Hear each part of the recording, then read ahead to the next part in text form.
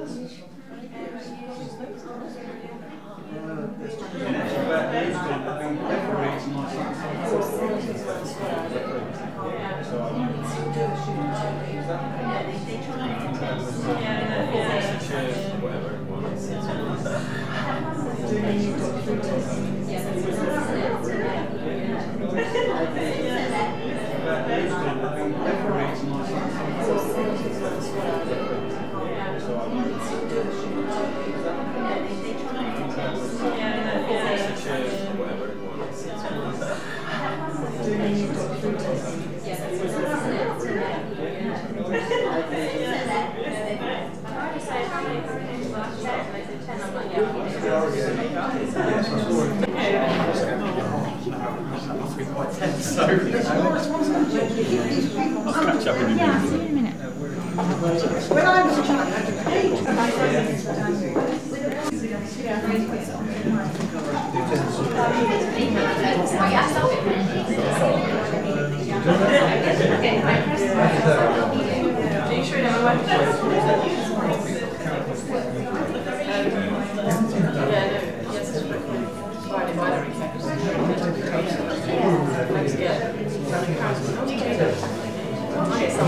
to Yeah.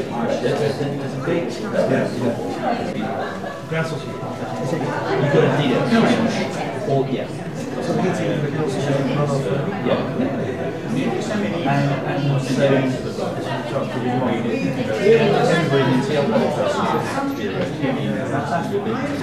Hello everybody, can we all come round please? Hello, you're right. Mm, yes, thank you. How are you? All right, thank you. Welcome everybody to this, the third of Ross's exhibitions of urban landscapes. Rickmansworth Scenes, dedicated to the place Ross lives and works.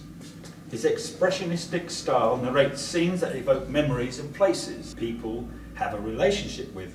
I've seen Ross in action and it's an interesting experience how he actually performs his art. His distinctive style is called heavy impasto. Ross likes to interact with all the people in his paintings and has a story about all of his creations, which he considers has enriched his own life. Creating an impasto painting requires the use of a large quantity of paint. The estimated weight of paint he used in his 267 Underground series was a quarter of a ton.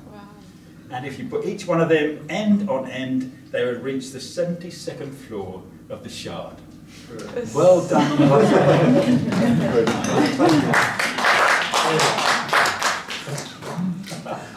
Well, taking my lines. They're the two statistics I can actually um, normally surprise people with because you know I was surprised myself. So we're here, and this is just my experience of, of Rickmansworth, and I'm really pleased to say that there are people from obviously from the council that are here because actually we really appreciate the fact that for one you're putting on a show like this, you know, to let, allow artists to be able to exhibit, and also the fact that. Um, you know, Rickmansworth for me is a is a lovely place to live. I'm not getting paid for this. It's not, you know, it really does come down to the fact that there's such a charming.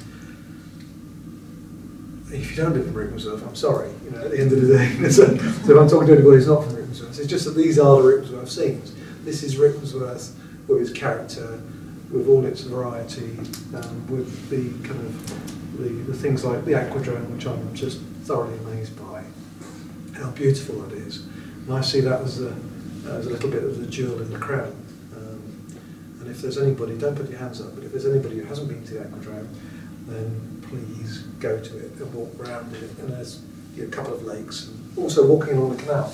And the canal itself is just a, a, a fantastic uh, change to the kind of the whole feel.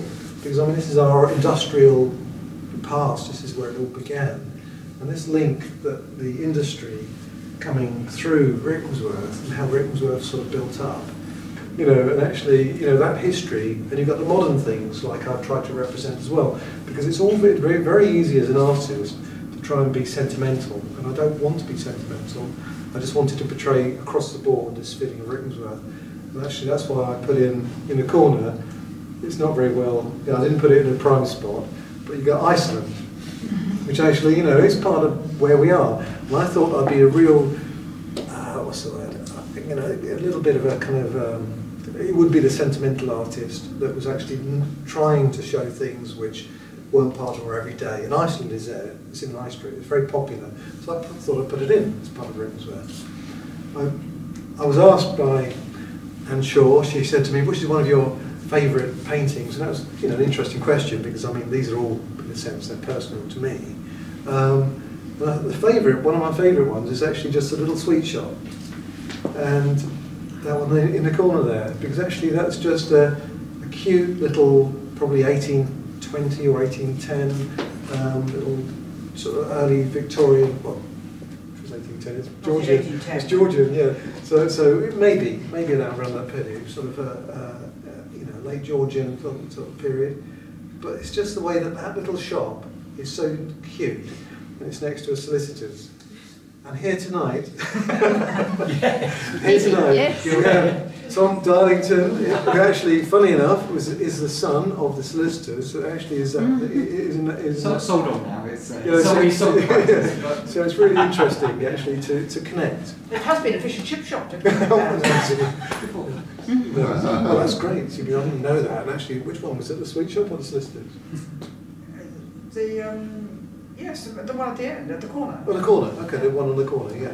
So I, I mean, I haven't been there that long to know that, but, uh, but you know, that's the thing. That this is all part of our history, and so the paintings are, for me, um, part of our history, part of our heritage, part of where I live, part of what I enjoy, and it's a real pleasure to be able to put them on and exhibit them here at Rickmansworth.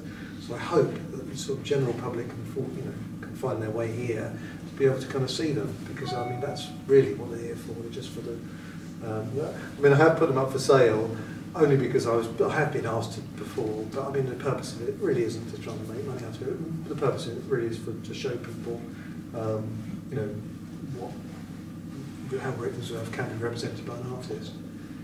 Um, these are the these are the uh, for anybody who actually hasn't been before. I think most of you have.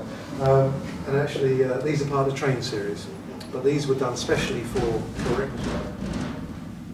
Hopefully, there will be little th- areas that you, you perhaps haven't seen before. And one of them is I don't know if everybody's seen the lion, the uh, memorial in the Rose Garden. And actually, that's just a sweet little place. So I've put out the quiet corner because actually, again, part of our history is, is the people who have made Rickmansworth, and that's part of the people that went through the wars. That is represented by that fantastic lion that's there. It's absolutely astounding, that lion is in the corner there. I don't know the Scotland. I'm not going to go on because I, said I wouldn't give a long speech, but um, I'm just pleased you're here. So thank you for being here. Well done.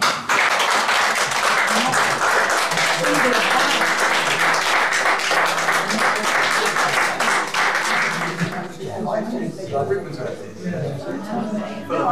going